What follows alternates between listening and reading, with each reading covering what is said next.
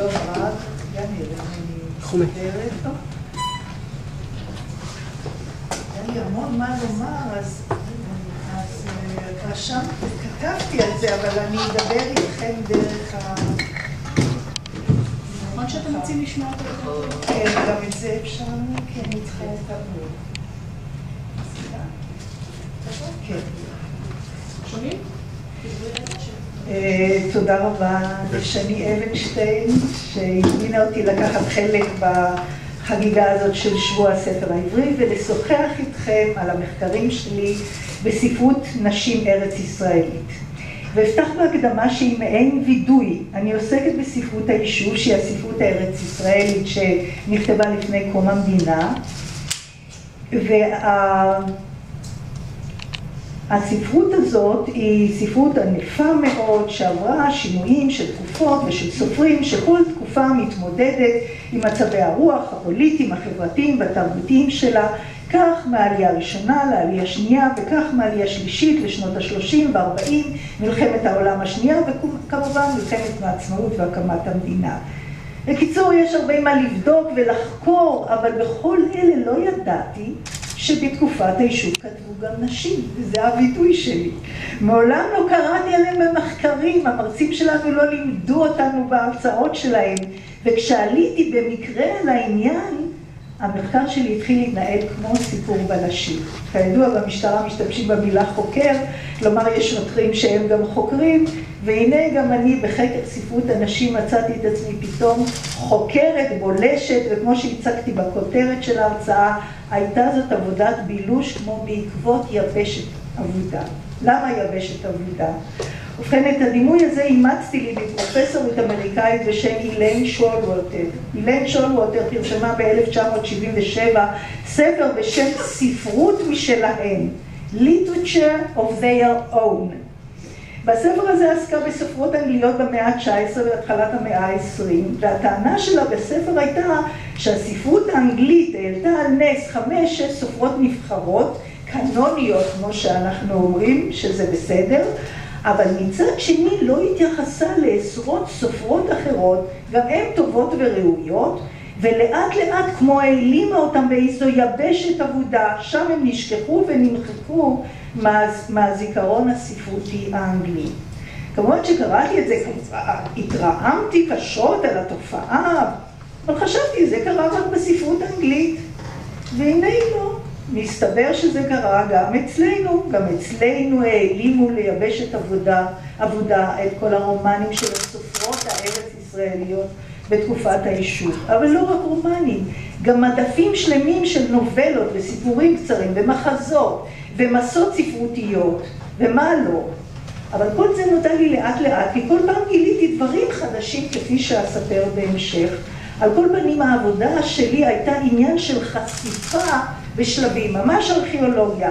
שלב א', לדעת כלל שיש יבשת אבודה, וב', לאתר ולחפש את היבשת הזאת, וג', למצוא את הסופרות האבודות, וד', לאסוף את היצירות שלהן כמה שיותר, וה' להעלות אותם על סדר היום הציבורי וקודם כל באמצעות האקדמיה שאותה אני מכירה ובה אני פועלת, כלומר ללמד את הסופרות האלה בשיעורים שלי, לכתוב עליהם מאמרים ומחקרים, להרצות עליהם במפגשים שונים, לעודד סטודנטים וסטודנטיות לכתוב עליהם עבודות וכולי וכולי.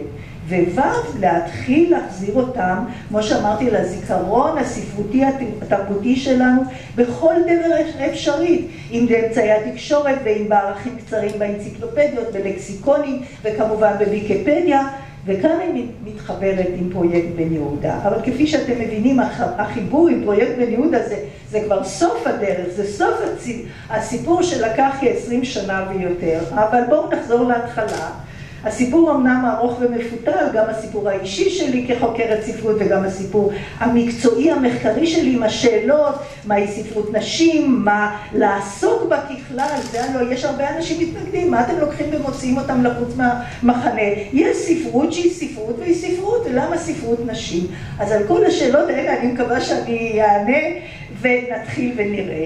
ובכן, סיפור אישי, שסיימתי תואר שני והחלטתי להמשיך לתואר שלישי, סקרנה אותי מאוד ההתחלה של ההתחלה של הספרות העברית בארץ. כלומר, ספרות הבראשית שלה שהתחברה כאן עם העלייה הראשונה ועם המתיישבים הראשונים. רציתי להבין מה היו הסופרים הראשונים, איך הם כתבו, על מה הם כתבו, בכלל, מה היה להם לכתוב בשממה ובלא כלום הזה. ויותר מזה, הלוא הם באו להיות, הם לא באו הנה להיות סופרים, כן? הם באו להיות מתיישבים ראשונים, עיקרים, עובדי האדמה. אז מה קורה שבין השדות והכרמים הם גם ניסו, ניסו ליצור אדם חדש וארץ חדשה וספרות ולשון ותרבות וחגים, הכל חדש. אבל כשהתחלתי כמעט ולא מצאתי חומר בנושאים האלה, ואני מדברת על ספרות העלייה הראשונה באופן כללי. חוקרים ודוקטורנטים לא מצאו עניין בתקופה הזאת, ובספרות הזאת כמעט כולם העדיפו לעסוק במשוררים הגדולים, בביאליק, בצ'רניחובסקי, בסופרים המובילים כמו ברנר, עגנון. אז תשאלו למה לא הייתי כמו כולם? למה התעקשתי דווקא על ספרות הבראשית הזאת? ובכן, כשמתחילים לבחור במשהו, לא עושים זאת רק מסיבה אחת. נראה שחיבור של כמה סיבות יחד הוא שדוחף לעשות את הדברים, וגם אם אנחנו רוצים בהם או לא, מדעת או לא מדעת. הסיבה שדחפה אותי לאותה ספרות של עלייה ראשונה הייתה הביוגרפיה של המשפחה שלי. נולדתי למשפחה שעלתה לארץ בעלייה הראשונה ואולי לפניה.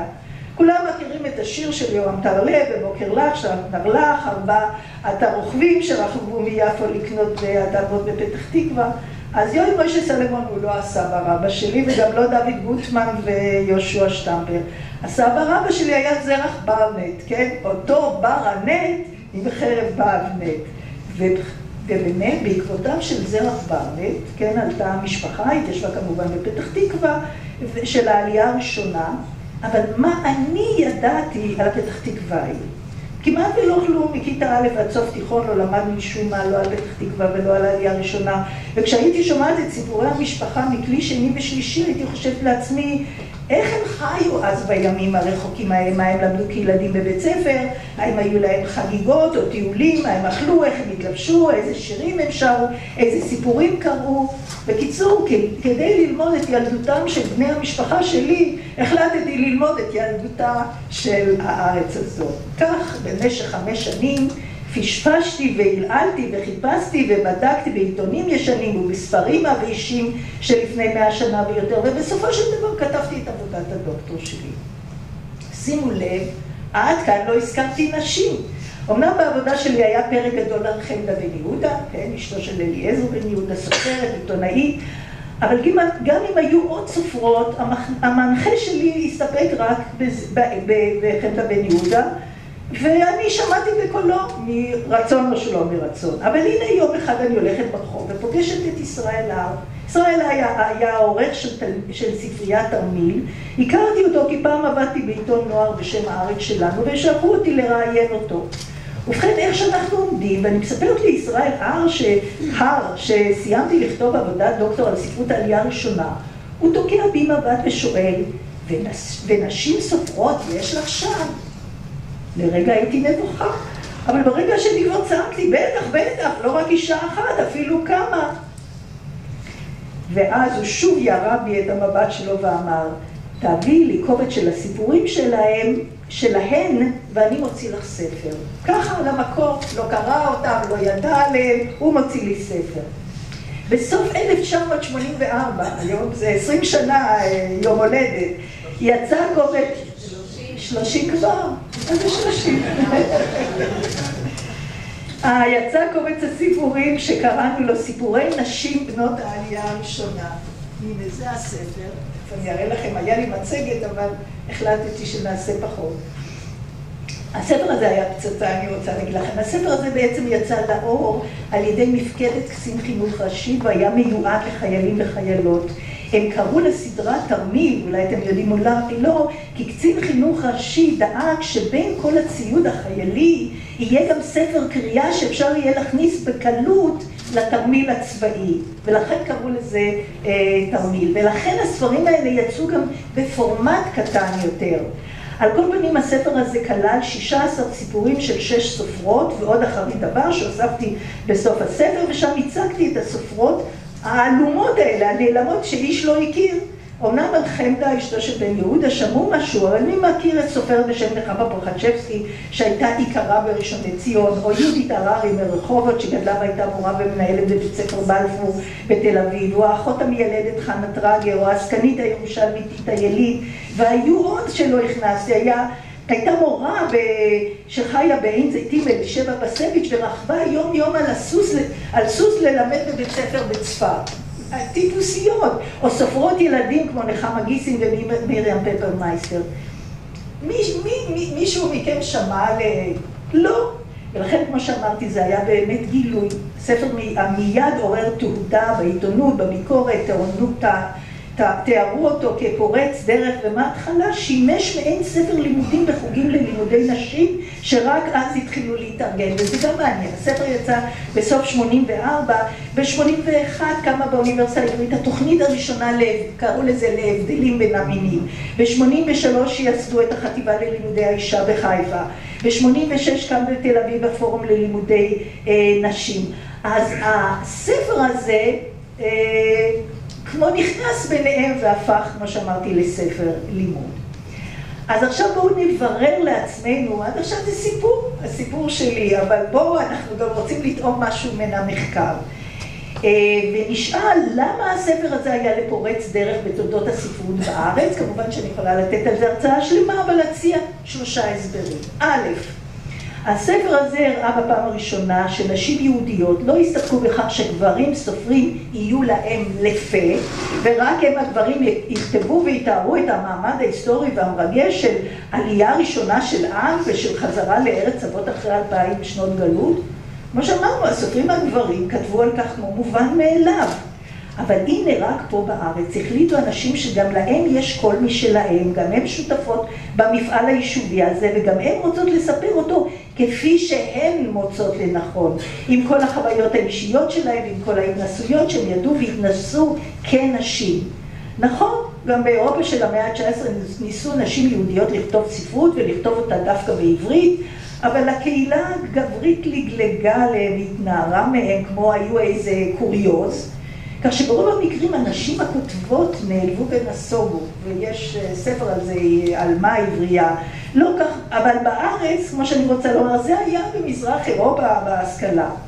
אבל בארץ יש איזה מין, איזה חיות אחרת. אומנם גם בארץ נתקלו הנשים הכותבות בתגובות דומות, אבל כאן לא נעלבו, להפך.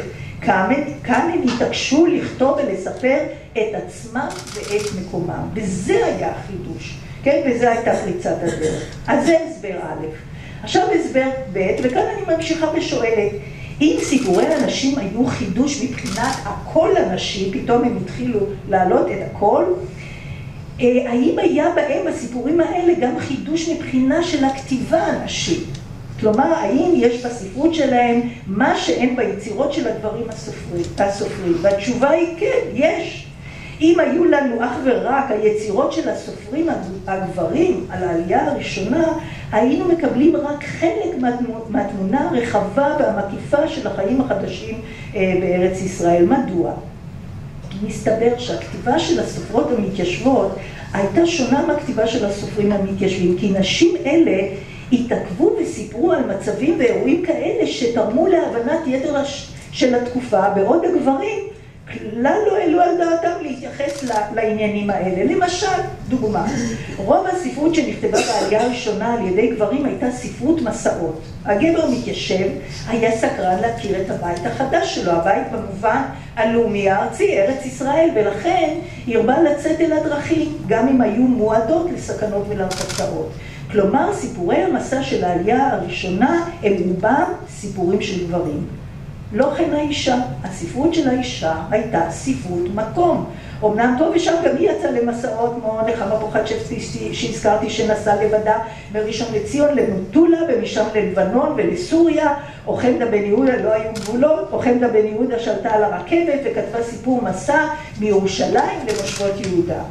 אבל בעיקרון נשים ירבו לספר על הבית, על הסביבה הקרובה ועל חיי היומיום ממש פרטים ותיאורים שאין נמצא בשום ספר היסטוריה. למשל, גם אותה פוחצ'בסקי יש לה סיפור בשם החרטה, שם היא מספרת על יום בחייה של עיקרה במושבה עקרון, כך שעה-שעה, מבוקר עד חצות, וזה סיפור, זה לא דוח יומי. עניין נוסף שהנשים, כתיבת הנשים מוסיפה לנו, זה נושא האימהות. בסיפורי העלייה הראשונה יש סיפורים של אימהות, אבל אין סיפורים של אבות. וכאימהות, הנשים המתיישבות סיפרו לא רק על ילדים, אלא גם על שכול של ילדים. כאן צריך להזכיר כי בעלייה הראשונה המוות, ובעיקר מוות של ילדים, פקד הרבה בתים, אבל הדברים הסופ... הסופרים לא העלו ביצירות שלהם מוות ושכול. הסיפורים שלהם עמדו תמיד בסימן של גבורה ומעמד ומאבק, ואם יש פה ושם מוות, הרי זה מוות של חזקים, של גיבורים, ולא מוות של חלשים כמו ילדים, זקנים, נשים. בקיצור, ספרות הנשים גילתה לי לפתע שיש לנו למעשה שתי צורות סיפור, שתי צורות של תכנים וגם שתי צורות של לשון עברית. אני לא יודעת אם שמעתם או קראתם, אבל אליעזר בן יהודה יצא בצער, בצעד חריג בעלייה הראשונה וביקש מאנשים של העלייה הראשונה להתחיל לכתוב ספרות, וכל זה למה? בן יהודה טען שהשפה העברית כפי שהובאה מהגולה היא שפה גברית ויבשה. מדוע? כי הגברים השתמשו בה שם רק ללימוד משנה ותלמוד, ועם כל הפלפולים והוויכוחים עשו אותה לרציונלית וקשוחה. אבל אם אנשים יתחילו לכתוב, אז מדעת או שלא מדעת, הם יהפכו את השפה העברית לרכה יותר, לאמוציונלית, כי האישה ממהותה, ככה הסביר בן יהודה, היא ענוגה, רגשנית, חמה, ואת הדקויות הלשוניות האלה היא תחלחל ותכניס לכתיבה שלה ולעברית שלה. טוב, אז אפשר עוד להוסיף ולהוסיף לעניין של הכתיבה הנשית ולסגנון הייחודי הנשי, אבל בואו נעבור הלאה להסבר השלישי, ג' ובכן, אם דיברנו עד עכשיו על הקול הנשי ועל הסגנון הנשי, בואו נדבר עכשיו על הפוליטיקה הנשית. יש גם פוליטיקה לנשים. ואכן ספרות הנשים בעלייה הראשונה היא חדשנית ופורצת דרך גם במובן זה שהיא משדרת כבר מההתחלה איזו מודעות נשית חתרנית שיוצאת להיאבק לעצמאות ולשוויון האישה. היום קוראים לזה פמיניזם, אז קראו לזה תחייה, תחייה לאומית, והסופרות בפירוש דיברו על תחייה לאומית כעל תחייה נשית. לא רק תחייה של עם, אלא התחייה של האישה. ובסיפורים שלהם הן גם מציעות מודל של אישה חדשה. אמנם לכל אחת יש מודל משלה, אבל בסך הכל אצל כולם זו אישה עצמאית, משכילה, דעתנית, בעל השקפות ועמדות אידיאולוגיות משלה, וכמובן ציוניות. במילים אחרות, לפי הסופרות האלה, אמורה להיווצר בארץ ישראל אישה בעלת איכות משלה, כי לפי דעתם, אם האישה האם היא איכותית, גם הדור הבא שהיא גדלת בבית, הילדים, יהיה, הדור הזה יהיה איכותי, וממילא כל העם לעתיד לבוא יהיה איכותי. או כמו שאמר אליעזר בן יהודה, האישה היא בונה עם. וחמדה היא הוסיפה, והיא גם המעצבת אותו לטוב או לרע. עד כאן נשמע בסדר, אבל מה לעשות אם האישה המתיישבת נתפסה במסגרת המפעל הציוני כשולית, או יותר נכון כשולית, כמשנית, הלוא המפעל הציוני כפי שאנחנו יודעים הוא מפעל גברי בלעדי מההתחלה. לכן לנשים בארץ, נשים באות לארץ, לבנות ולהיבנות בה, לא היו זכויות, נקודה. לנשים בעלייה הראשונה למשל לא היה זכות בחירה לוועד המושבה, לא זכות דעה באספות בית העם. ובראשון לציון, תשמעו, אסרו עליה במפורש להיכנס לבדה לבית המועצה, גם אם באה לשלם מיסים. הבעל בשדה, היא רוצה לשלם מיסים, אסור לה להיכנס, היא אישה.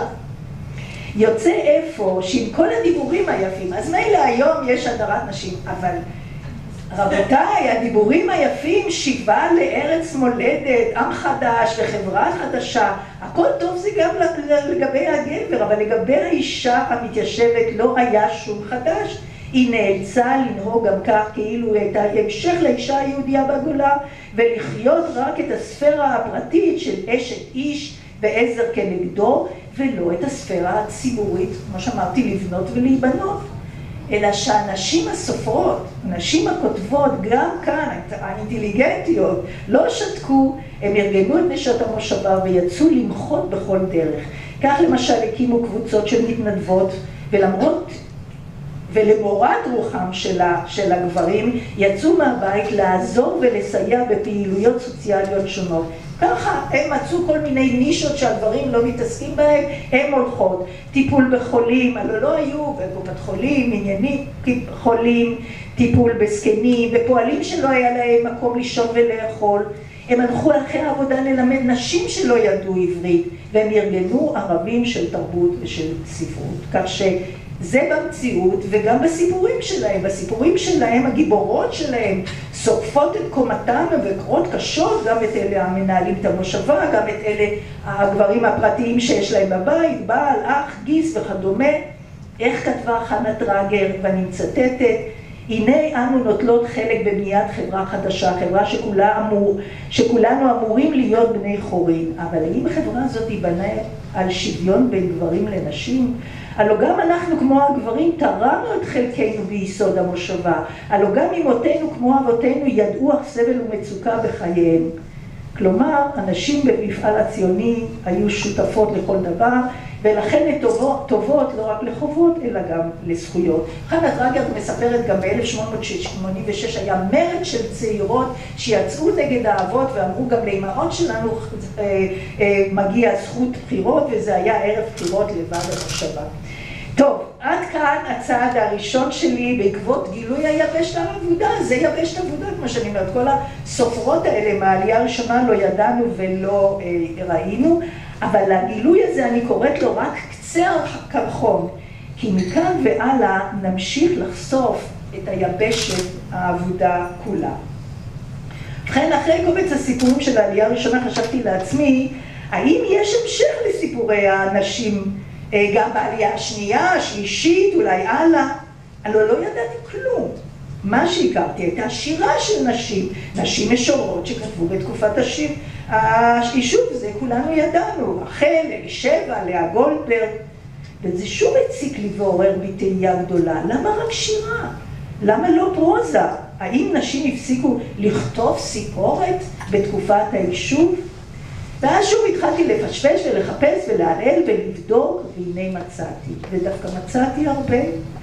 ככה בכל מיני לקסיקונים ישנים ועיתונים וכתבי עת בארץ ובחוץ לארץ מצאתי יצירות של סופרות נשים שכתבו ופרסמו בשנות ה-20 ועוד יותר בשנות ה-30 ועוד יותר בשנות ה-40 כאן כבר קניתי חבילה של כרטיסים, זה עוד היה, היה מחשב אבל השתמשתי בכרטיסים ופתחתי לכל סופרת כרטיס משלה שמיום ליום ערימת הכרטיסים רק הולכת וגדלה. אני מוצאת שוב ושוב סופרות חדשות.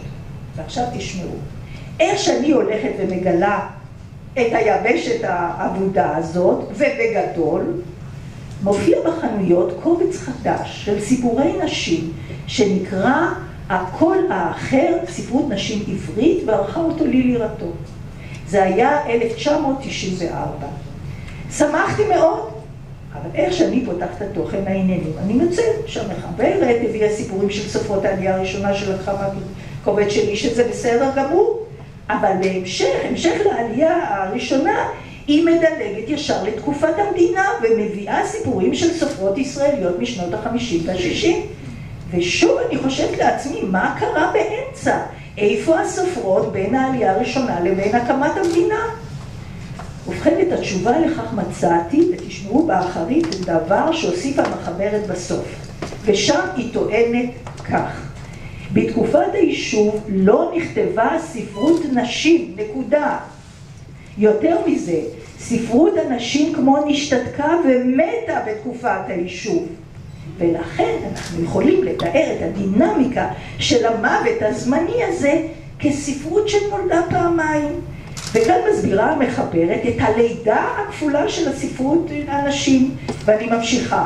הלידה הראשונה של ספרות הנשים בארץ התרחשה עם הסיפור הראשון של, של הסופרת דבורה ברון שפרסמה אותו ב-1903, אז נולדה, ואילו הלידה השנייה קרתה 50 שנה מאוחר יותר, כאשר הסופרת עמליה כהנא כרמון פרסמה את הסיפור הראשון שלה ב-1956. כלומר, לפי ההסבר של המחברת, מ-1903 ועד 1956 לא נכתבה פרוזה נשית ארץ ישראלית, הסופרות בארץ נעלמו ונוצר חלל ריק וגדול של נשים כותבות.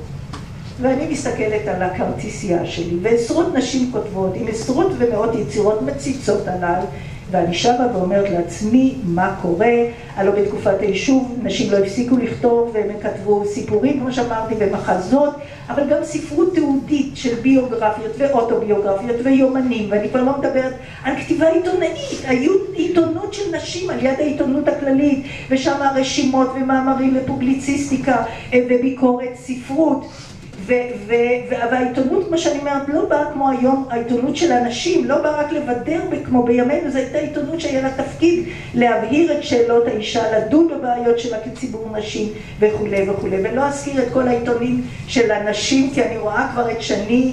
אה, יש עוד חמש דקות. טוב. נו, אז למה קפצתי? אז טוב, אז נחזור. היו עיתונים כמו... אה, היה כתב עת האישה שאני אומרת שהבהירה את שאלות האישה ודנו בבעיות שלה והסוגיות שעל סדר היום החברתי והפוליטי, סוגיות נשים. כתב העת האישה יצא לאור ב-1926, אחר כך דבר הפועלת יצא ב-1934. אחר כך זה באמת מעניין, ערב מלחמת העולם השנייה יצא שבועון בשם עולם האישה והשבועון הזה בא כדי לסייע ולכוון את האישה במצוקות של המלחמה. זאת אומרת, במשך כל המלחמה היה העיתון הזה, וכשהסתיימה המלחמה, עוד המשיכה כמה שנים, ועם הכרזת המדינה, העיתון נסגר, הוא עשה את שלו, הוא נסגר. טוב, בקיצור, בתקופת היישוב, כמו שאתם רואים, פעלה קהילה ענפה ותוססת של נשים כותבות, והשאלה היא למה המחברת שערכה את הקובץ הקול האחר לא ידעה על כך. למה היא לא חיפשה ובדקה לפני שהיא יצאה בהצהרה המוטעית והכואבת הזאת? למה מחקה את סופרות היישוב והשכיחה אותם מאיתנו? על, הספר שלה זה, זה כמו איזה גושפע כזה, היא מאשרת, נכון, אין ספרות נשים בתקופת היישוב. טוב, אז uh, אני קופצת לעניין שב-2003 הוצאתי לאור קובץ סיפורים נוסף. קראתי לו שאני אדמה ואדם סיפורי נשים עד קום המדינה. וזה הספר הזה. דרך אגב, זה שאני אדמה ואדם, אה, סיפורי נשים עד, אה, קום המדינה. אה, הפסוק שאני אדמה ואדם, זה די קשה הכותרת הזאת, אבל אני התעקשתי. עליה, כי שאני אדמה ואדם היא שורה מתוך שיר של אסתר רב, המשוררת הראשונה, ילידת הארץ, וכך הולך הבית הראשון. ברור שעשה מאישה, שאני אדמה ואדם וצל הרקה. כפי שאתם יודעים, כל בוקר בתפילת שחרית מודה הגבר היהודי לאלוהים ואומר, מודה אני לפניך שלא עשה מאישה. ואילו אסתר רב, צברית, בטוחה וגאה בנשיות שלה, מערערת על התפילה היהודית הגברית ומציעה תפילת שחרית משלה, תפילה של אישה שמציגה את תעודת הזהות הארץ ישראלית שלה כזהות משולבת של אישה פלוס אדמה פלוס אדם, היא יולדת את האדם, פלוס צלע, עם הדגש על צלע רכה. כן, הצלע היא קשוחה, אבל היא אישה, את צלע רכה.